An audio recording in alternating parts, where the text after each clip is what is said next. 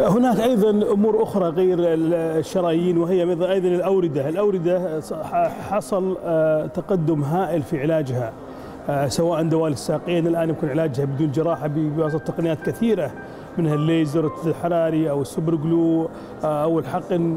أمور كثيرة في دوالي الساقين يمكن علاجها بدون جراحة، أيضا هناك الجلطات الوريدية.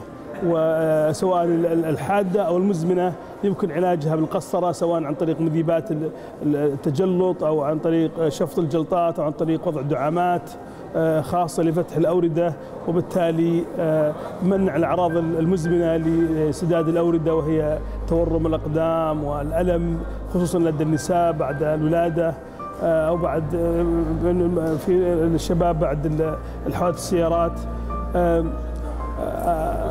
هذه التقنيات يعني هي ثمرة التعاون ما بين يعني العلم والصناعة وبين الطب.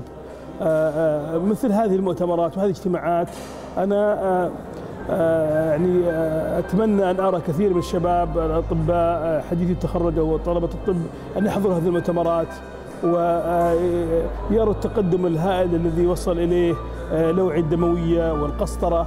وأتمنى أرى كثير من المختصين في هذا المجال لأنه حاجة ماسة في العالم العربي لاختصاصيين جراحة الاوعيه الدموية خصوصا القسطرة.